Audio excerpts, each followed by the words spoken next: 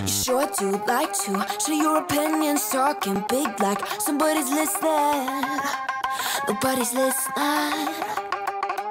It's so fun and games until it doesn't toss me out. I'll hit the ignition.